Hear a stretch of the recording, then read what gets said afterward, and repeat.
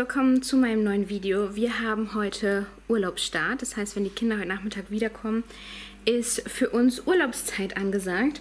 Und ich habe für jedes Kind eine kleinere, größere Überraschung. Also Vincents Überraschung, der Karton ist riesig. Und deswegen hoffe ich, weil der Karton so riesig ist, dass es halt einfach schon zusammengebaut da drin ist und ich es nicht zusammenbauen muss. Weil ihr wisst, das ist nicht so meine Stärke. Ich mache das mal, wenn es sein muss. Aber ich brauche dreimal so lange wie mein Freund, wenn der das zum Beispiel macht. Deswegen bin ich immer froh, wenn der sowas für mich zusammenbaut, weil ich einfach ganz oft dann halt so zwei, drei Schritte nochmal in der Anleitung zurückgehen muss, weil ich da irgendwas falsch gemacht habe und es deswegen jetzt nicht funktioniert. Deswegen brauche ich immer ewig und habe für sowas keine Geduld. Aber gucken wir mal. Ich zeige euch jetzt erstmal dieses riesige, riesige Paket. So, das ist es. Es ist sehr, sehr leicht. Also, aber es ist halt unglaublich groß. Und deswegen bin ich jetzt sehr gespannt und hoffe wirklich, dass es vielleicht sogar schon zusammengebaut da drin ist und ich es jetzt einfach nur an seinen Platz stellen muss. Ich muss es leider doch noch zusammenbauen. okay, das hätte auch so aufgebaut da nicht drin sein können. Das war halt ein sehr, sehr großer Karton und viel Pappe. So, was wir jetzt hier aber haben, ist von Digitoys von Mario Red ähm, die Super City Garage, denn Wer uns schon länger folgt, weiß, Vince ist ein riesengroßer Hot Wheels-Fan oder halt diese vielen kleinen Autos. Und ich kann super schlecht schätzen, aber ich nehme an, wir haben irgendwas so um die 40, 50 Autos im Kinderzimmer und auch in der sonstigen Wohnung rumfliegen. Und ähm, deswegen dachte ich, wäre das hier so eine riesen, richtig coole Angelegenheit. Hier nochmal so ein paar. Oh Gott, mit Licht und Sound. Mein. Das wird ja spannend. Ähm, genau. Und ich fange jetzt an und hoffe, dass ich keine fünf Stunden brauche, um das hier zusammenzubauen. Und ein paar Autos sind übrigens auch mit dabei. Also für die, die noch nicht so ganz so viele Autos haben, sind zum Glück noch sechs Autos mit drin. Die wir aber so tatsächlich auch noch nicht haben. Das ist immer gut.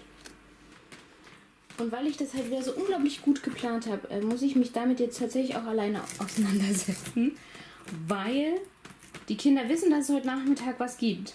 Ich muss es jetzt machen. Und mein Freund ist arbeiten. Also werde ich jetzt diesen ganzen kleinen Kram erstmal rausholen. Und dann soll das da in die Ecke. Also, es gibt hier ein ganz Anleitungsheft, wie ich das jetzt aufbaue. Ähm, hier steht jetzt quasi schon mal das Unterteil. Das ist für den Zug. Und ich baue jetzt hier irgendwie das alles da drauf.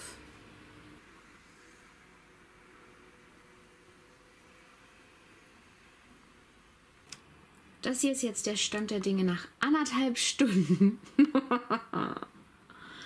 oh mein Gott.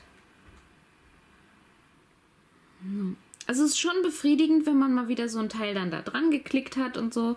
Und mittlerweile werde ich auch ein bisschen schneller, weil ich das Stecksystem verstanden habe und das dadurch ein bisschen einfacher geht. Was ich nicht geschafft habe, hier kommen eigentlich Batterien rein und ich habe einfach das Batteriefach nicht aufbekommen. Aber das kann man ja schnell mal wieder da rausmachen und das muss mir dann irgendjemand mal machen. Ansonsten bin ich schon sehr stolz auf mich. Aber das habe ich halt, ich habe halt bisher echt anderthalb Stunden dran gesessen und es fehlt ja noch ein ganz viel bisschen was. Also nach fast zwei Stunden an dieser Parkgarage musste ich jetzt gerade mal kurz was anderes machen. So, und ich habe jetzt noch ähm, eine halbe, dreiviertel Stunde Zeit. Ich hoffe, ich schaffe das noch. Ich weiß, ich habe gesehen, ich habe nicht mehr viel. Und diesen ganzen Kleinkram-Gedöns, das kann ich ja dann auch mit, noch mit Vince zusammen machen. Das heißt, ich setze mich jetzt nochmal hoffentlich nur noch eine halbe Stunde an die Parkgarage. Also es ist schon nicht, nicht kompliziert oder so. Es ist wirklich sehr gut gemacht, aber es dauert halt echt so seine Zeit. Und das hatte ich tatsächlich nicht eingeplant, dass es dann doch so lange dauert, es aufzubauen. Und es ist auch größer geworden, als ich gedacht hätte. Also ich muss mir doch auch nochmal einen anderen Platz im Kinderzimmer suchen. Aber ich setze mich jetzt nochmal ran und wir machen das jetzt nochmal fertig. So, also fünf Minuten, zehn Minuten habe ich jetzt nochmal gemacht. Ähm, es sind noch so ein paar Kleinigkeiten, so ein paar Männchen und Sachen zum dranstecken und ich habe auch noch nicht alle Aufkleber drauf. Aber das werde ich nochmal irgendwie die Tage in Ruhe machen. Jetzt steht es erstmal so, dass er damit spielen kann. Es ist noch nicht elektronisch, weil ich das tatsächlich nicht gebacken bekommen habe. ähm, eigentlich ist es nicht schwer. Ich muss mir nur die Schraube lösen, Deckel auf Batterien rein. Ich habe aber die Schraube nicht gelöst bekommen. Also da muss mir nochmal jemand helfen kommen. Aber das ist ja gar nicht so schlimm. Das heißt, der Ton und das Licht funktionieren noch nicht, aber das ist okay. Ähm, ich zeige euch das jetzt gerne nochmal ein bisschen im Detail. So, hier oben haben wir quasi das Parkdeck. Das sind 1, 2, 3, 4 Etagen, wo halt seine Autos mal untergebracht werden können. Dann haben wir schon ähm, Fahrstuhl Nummer 1, der da bis darunter geht. Hier ist übrigens einmal äh, Batteriefach. Machen wir noch ein bisschen das Licht an, dann ist das, glaube ich, ein bisschen besser. Genau. So, ähm, also um das ganze Ding gehen halt, geht halt ein, ein, ein Schienensystem, also Bahn drumherum, da die roten. So, dann haben wir hier, dann geht es halt hier in die Kurve. Der Fahrstuhl, der ist nur aus Pappe, also der funktioniert nicht. Und ähm, hier kommt man dann quasi in ähm, die Waschanlage. Hier kann man tanken. Das ist auch elektronisch. Ähm, wahrscheinlich macht das dann ähm, Geräusche, nehme ich an. Hier um das ganze Ding drumherum verlaufen Schienen für den Zug mit Anhänger. Ich habe es auch noch nicht probiert. Also ich habe hier noch kein Auto durchgeschickt, weil irgendwie, irgendwie kommen dann hier welche raus. Also manchmal verschwinden die dann halt in dem Ding und müssen halt da auch wieder raus. Und ähm, hier beim Fahrstuhl geht es zum Beispiel dann hier irgendwie raus, rein. Also rein, keine Ahnung. Das muss ich noch mit Vince ausprobieren. Dann hat man eine Polizeistation die ist da. Gibt es auch verschiedene äh, Klappen. Irgendwie ging das runter.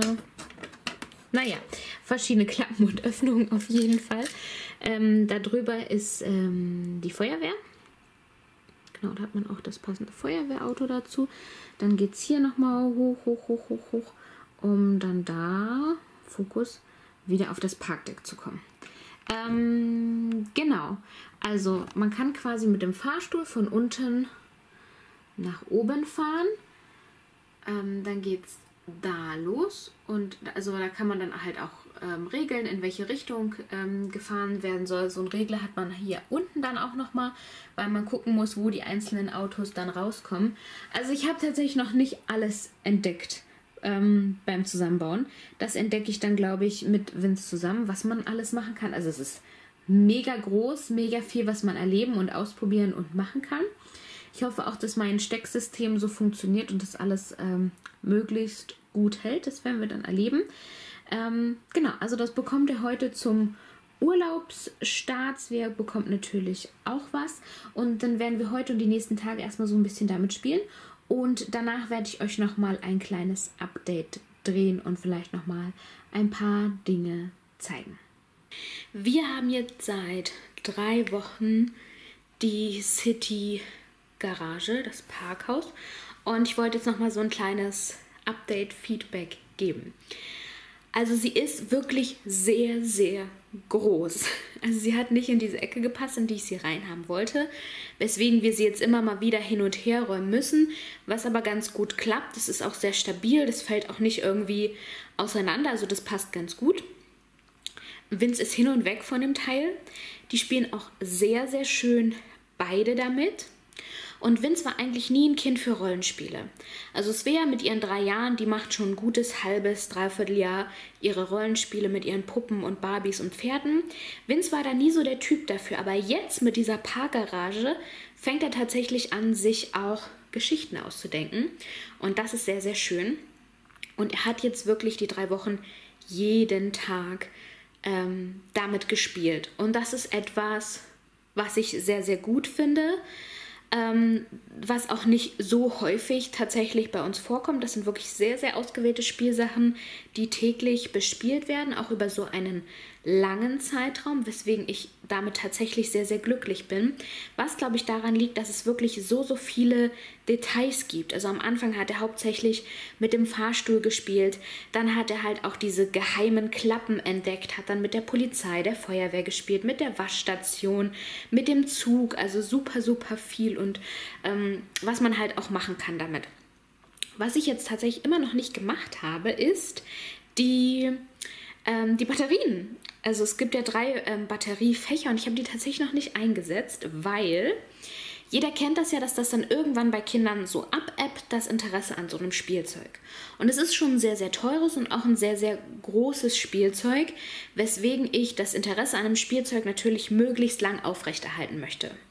Deswegen habe ich mir überlegt, warte ich jetzt tatsächlich mit den Batterien, bis ich merke, es flacht das Interesse so ein bisschen ab. Er spielt vielleicht nicht mehr täglich damit, was auch okay ist und macht dann die Batterien rein. Das heißt, dass der Zug dann von alleine fährt, dass die Waschanlage funktioniert, dass bei der gesamten Parkgarage halt dann Sound und Licht funktioniert, weil das hat dann natürlich nochmal einen ganz, ganz anderen, einen ganz, ganz neuen Anreiz und damit kann ich das dann wieder so ein bisschen in die Länge ziehen, habe ich mir so gedacht. Fand ich eigentlich auch ganz clever von mir. Also es ist wirklich, man muss sich echt überlegen, ob man den Platz im Kinderzimmer dafür hat.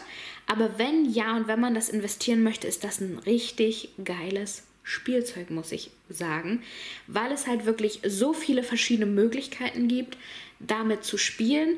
Ähm, halt wirklich sehr, ne, also man hat halt das und da und dort und da gibt es noch was zu entdecken. Super spannend fand er auch, wenn die Autos dann irgendwie da so unterirdisch reinfahren und dann irgendwie wieder rauskamen, fand er halt auch super interessant. Also das finde ich halt echt wirklich ein sehr, sehr tolles Spielzeug. Und bei mir ist es immer, ein Spielzeug ist dann gut für mich und meine Kinder, wenn sie wirklich lange ausdauernd damit spielen. Und das ist bei diesem Spielzeug tatsächlich der Fall.